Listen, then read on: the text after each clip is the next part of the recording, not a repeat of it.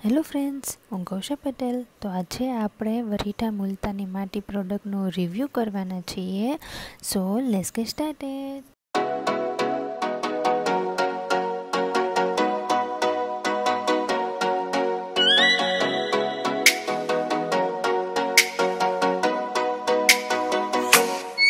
Oh, let me up with a bright smile on now. Put me in the dark, don't won't get lost now.